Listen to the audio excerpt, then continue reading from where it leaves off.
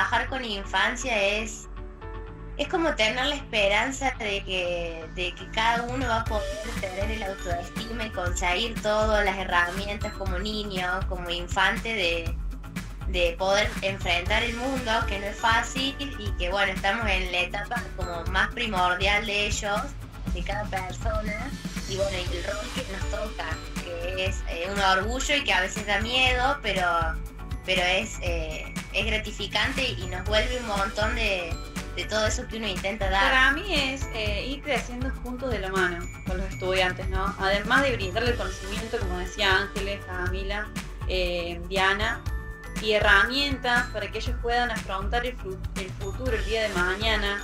Eh, la verdad que no, no, tiene precio ir a dar clases y hacer lo que a uno tanto le gusta, porque por eso estudiamos la carrera.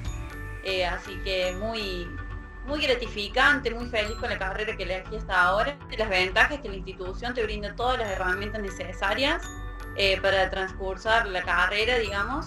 Y aparte los profes siempre te están apoyando constantemente todo el tiempo en todo lo que necesitas.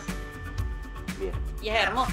Realmente no solo es un trabajo, sino que es algo personal también, que, es del corazón. Así que, aunque todo sea difícil, aunque parezca que no se puede, eh, volver acá y decir, bueno, eh, es lo que siento y voy. Eso le, diría. Es una carrera que realmente me, me llenó el alma.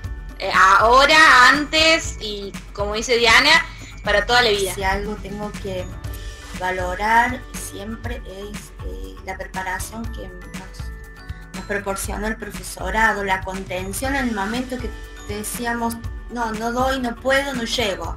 No, ese estímulo a seguir y a seguir, que lo íbamos a lograr en algún día, en alguna parte. Y, que compañera, la contención, que todo el tiempo te motivan a seguir adelante. Porque hubo días que, te digo la verdad, es cansador, viajo todos los días y sí, me he puesto a pensar, che, pero eh, todos los días viajo, qué cansancio, pero bueno, vale la pena seguir, intentarlo, luchar con nuestros sueños y gracias al profesorado lo pudimos conseguir todas, porque todas en algún momento lo pudimos lograr aunque hayamos flaqueado.